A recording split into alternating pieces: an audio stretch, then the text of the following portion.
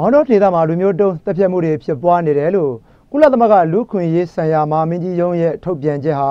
မှားယွင်းနေတယ်လို့ဒုတိယသမ္မတဦးမြင့်ဆွေကပြောဆိုလိုက်ပါတယ်ဒီသတင်းကိုတော့ကိုစရာချမ်းကြီးကပေးပို့ထားပါတယ်ခင်ဗျာရခိုင်ပြည်နယ်မောင်တော်ခယ်မှာ2016ခုနှစ်အောက်တိုဘာလကစပြီးအကြမ်းဖက်မှုတွေဖြစ်ပွားခဲ့တဲ့အတွက်ကုလသမဂ္ဂလူ့အခွင့်အရေးဆိုင်ရာမဟာမင်းကြီးရုံးကဒေသတွင်စုံစမ်းစစ်ဆေးမှုတွေပြုလုပ်ခဲ့ပြီးအခု2019ခုနှစ်ဩဂတ်စ်လဆန်းပိုင်းမှာအစီရင်ခံစာထုတ်ပြန်ခဲ့တာပါ အဲ့ဒီအစီရင်ခံစာမှာလူမျိုးရေးဘာသာရေးအသွင်ဆောင်တဲ့လူ့အခွင့်အရေးချိုးဖောက်မှုတွေနဲ့လူမျိုးလုံးတပ်ဖြတ်မှုတွေဖြစ်ပေါ်နေတယ်လို့ဖော်ပြခဲ့တာဖြစ်ပါတယ်အဲ့ဒီလိုဖော်ပြချက်ဟာလက်ရှိမြေပြင်အခြေအနေနဲ့ကွာဟနေပြီးမှားယွင်းတယ်လို့မောင်တော်ဒေသစုံစမ်းစစ်ဆေးရေးကော်မရှင်ဥက္ကဋ္ဌဒုသမ္မတဦးမြင့်ဆွေကဩဂတ်စ်လ6ရက်နေ့ကရန်ကုန်မြို့မှာပြုလုပ်တဲ့သတင်းစာရှင်းလင်းပွဲမှာပြောဆိုလိုက်ပါတယ်ကုလသမဂ္ဂလူ့ခွင့်ရေးဆိုင်ရာမဟာမင်းကြီးရုံးကသုံးသပ်တဲ့ crime against humanity ဖြစ်နိုင်ခြေလုံးဝမရှိပါကြောင်းနဲ့ ethnic cleansing ဟုယူဆနိုင်သည့်အနေအထားလဲလုံးဝမတွေ့ရှိပါကြောင်းပြောကြားလိုပါတယ်။ဒါ့အပြင်ချို့သောပြင်ပပုဂ္ဂိုလ်များက၎င်းဒေသ၌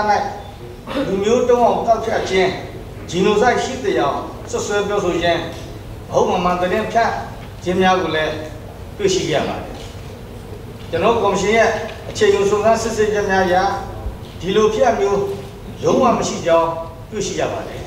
အဲ့ဒါတွေအပြင်ရခိုင်ပြည်နယ်မှာဖြစ်ပွားနေတဲ့နိုင်ငံတကာမီဒီယာတွေမှာဖော်ပြနေတဲ့အတ္တမပြုကျင့်မှုတွေနဲ့လူ့အခွင့်အရေးချိုးဖောက်မှုတွေဟာလည်းလောက်ကျန်ဖန်တီးထားတဲ့သတင်းအမှားတွေသာဖြစ်တယ်လို့မောင်တော်ဒေတာစုံစမ်းစစ်ဆေးရေးကော်မရှင်အတွင်းရေးမှူးကပြောဆိုပါတယ်တိုင်းပြည်အနေနဲ့ကျတော့ကျွန်တော်တို့ကဂျီနိုဆိုက်လုပ်နေတယ်လူမျိုးတော့အောင်လုပ်နေတယ်မွတ်စလင်တွေကိုတတ်နေတယ်ဆိုတော့ဆွဆွဲချက်ဟာတိုင်းပြည်အတွက်ဘယ်လောက်နစ်နာလဲဆိုတာနော်နိုင်ငံတော်အတွက်ဘယ်လောက်နစ်နာလဲဆိုတာ သူတို့လွတ်လိုက်တာကတော့သူတို့လွတ်လိုက်တာပဲသူတို့ဗကြတဲ့ချောင်းတလောင်တစ်ချောင်းနဲ့လွတ်တာကျွန်တော်တို့ကကုရတီရှင်းလို့မပြီး။မောင်တော်ဒေတာမှာမွတ်စလင်ဘာသာဝင်တွေကိုလွတ်လပ်စွာဘာသာကိုးကွယ်ခွင့်ပြုထားပြီးမွတ်စလင်လူဦးရေ9,500ကျော်နေထိုင်တဲ့နေရာမှာဗလီ1288ခုအာရဘီကျောင်း1143ကျောင်းနဲ့မော်လဝီဆရာ1600ကျော်ကိုတရားဝင်ခွင့်ပြုထားပါတယ်။ကျွန်တော်ကစီရချန်ကြီးပါ။